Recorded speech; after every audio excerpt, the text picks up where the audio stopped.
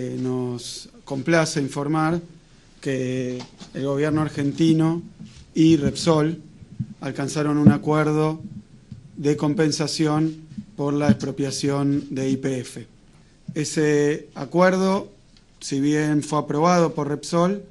va todavía a tener que ser ratificado tanto por la Junta General de Accionistas de Repsol, hoy lo aprobó su directorio, ¿no? su Consejo de Administración,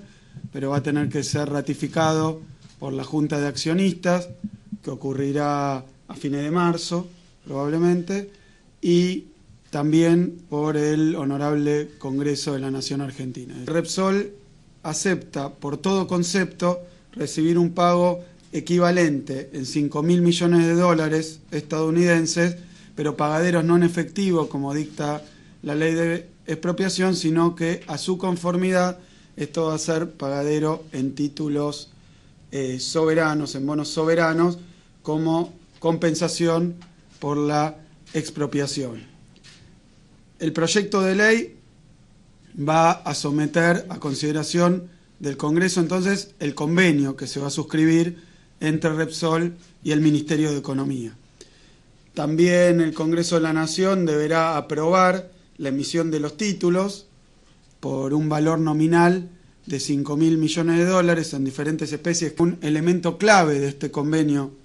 que vamos a suscribir y someter al Congreso de la Nación,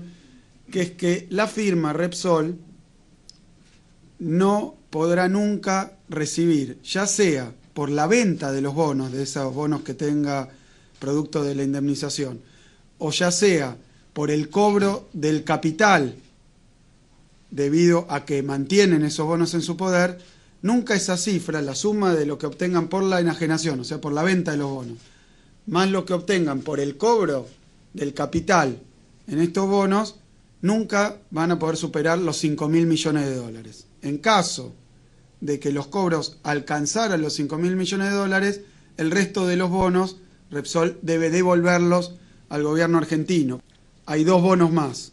Uno que es el Bonar 10, que es un bono que ya la República tiene una emisión, o sea que sería una ampliación de la emisión de Bonar 10 por 500 millones de dólares. Ese es un título con vencimiento en 2017 y una tasa del 7%, una tasa menor, pero con un vencimiento más cercano, 500 millones de dólares. Y 1.250 millones de dólares con otro título eh, de Argentina que se llama Discount 33 que es un bono que vence en el año 2033 y tiene una tasa de interés del 8,28%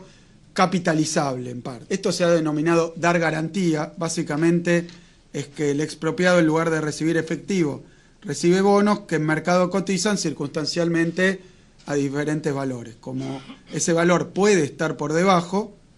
entonces se le da un adicional de bonos en valor nominal hasta llegar o a 4.670 millones de dólares en valor de mercado o hasta 1.000 en valor nominal y no más allá de eso.